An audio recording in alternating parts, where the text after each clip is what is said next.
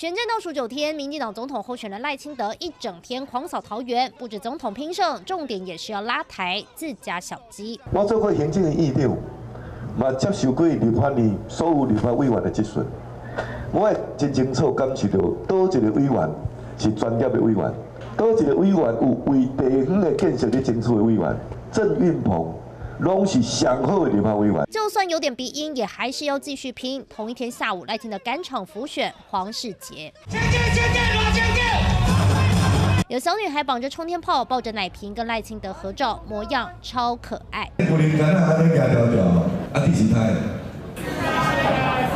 四胎，政府给他多少钱？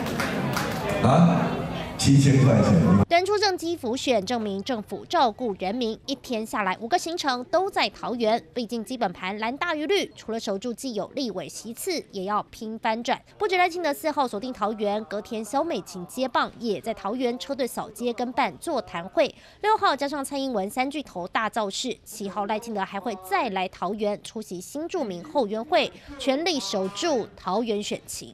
民进党。有两席，那另外一席是无党籍，国民党占有三席。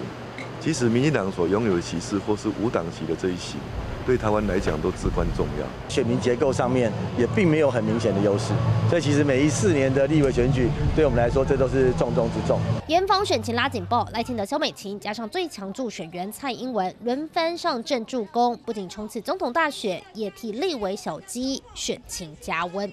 参选陈俊、朱淑君桃园报道。